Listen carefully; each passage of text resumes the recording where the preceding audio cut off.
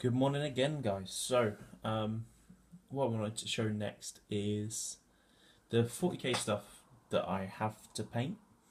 Um, just to give you a bit of an idea of what you might see later on today. Um, stuff I've got to paint, stuff I might end up painting, stuff I might do during a live stream if you want to see that. Um, so yeah, guys, I thought I'd talk you through that next. It's sort of uh, an update on my armies and stuff. So if we start with what you can see first, and then I'll move it around. So we've got two of the Crusaders here, uh, which have already been primed, primed in the Leadbelcher um, to match my Grey Knights. Whether I change that or not, um, I might just keep the silver for the shields and like the metal underneath, do the robes red or something. It's still yet to be seen, um, but those two guys need to be done.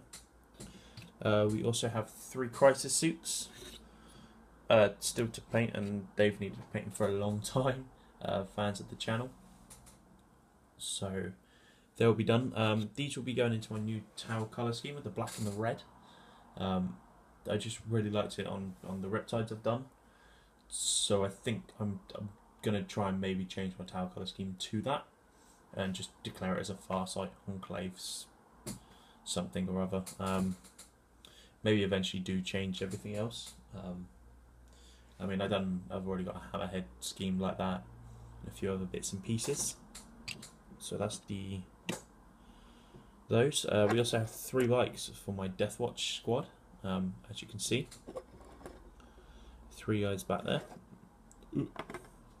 We also have um, the Jeff's Death, the Jeff Death Jester, uh, the Harlequin model.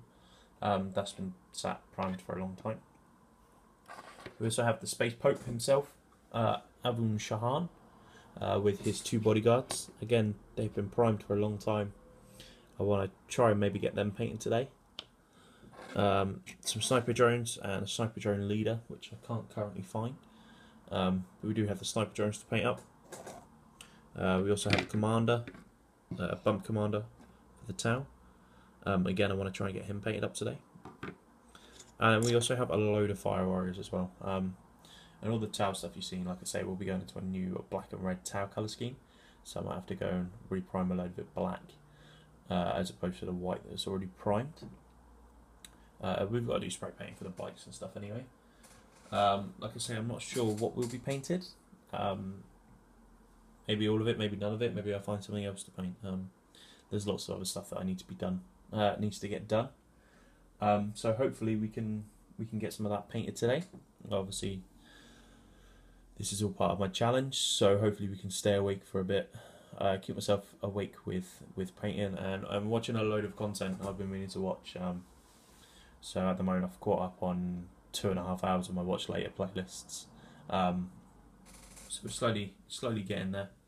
Um, like I say, guys, uh, we've had two questions so far for the Q and A.